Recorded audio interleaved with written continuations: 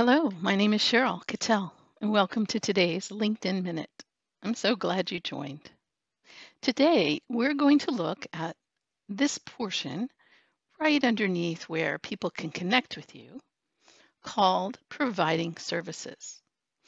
If you don't see this section on your profile, you can go to this blue button that says Open To.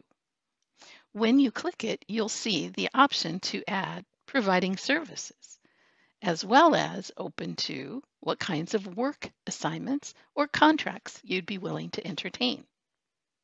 All right, let's get back to providing services. So once you've added it using the Open To button, then you want to open it and take a look at what is there today. More than likely, you'll want to add services. And the way you do that is clicking this button. Now, in my case, I already have 10. This is three, six, seven. Oh, I don't. I can add another one. So let's see what I might add. I call this the LinkedIn lottery.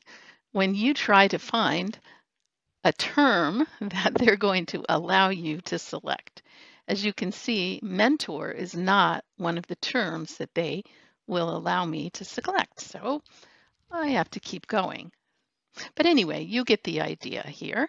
Um, let's see, author, writing. All right, we'll add writing.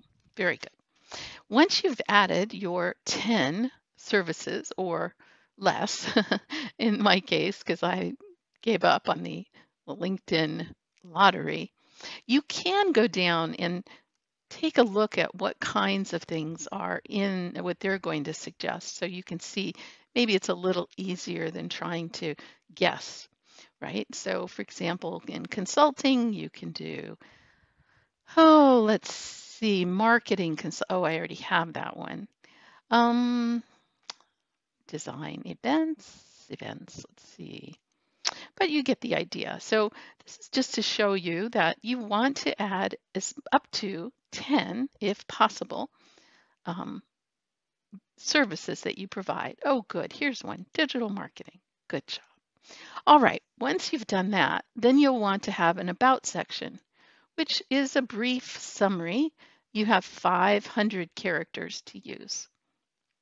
I always recommend use those keywords always good to a good um, adage to follow. Then you can say where you might be available, what locations, and um, also re reviews visibility. Now, if you don't have any reviews, you probably don't know what this is. It's a brand new feature from LinkedIn.